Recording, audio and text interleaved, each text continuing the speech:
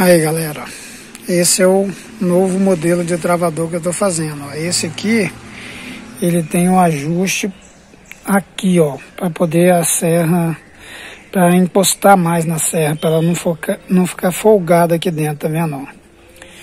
Eu consigo ajustar por esses parafusos aqui, ó, tá vendo? Essa parte aqui é móvel.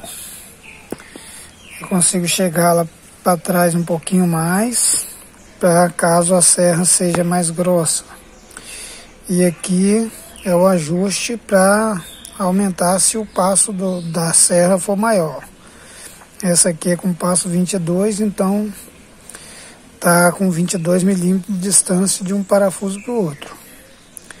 Funciona perfeitamente isso aqui. Esses furos aqui são para fixar na bancada, né?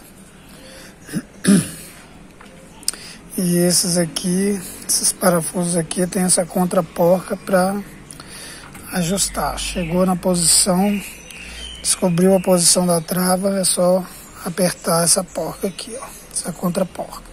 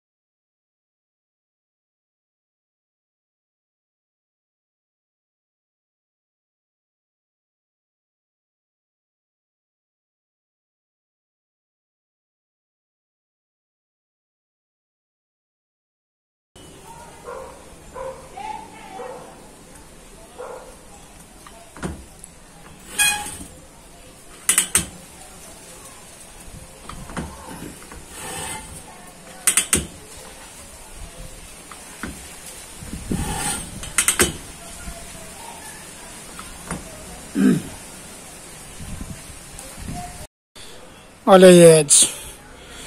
Ó, tá prontinho. Tá vendo, ó? Tem um limitadorzinho aqui, ó.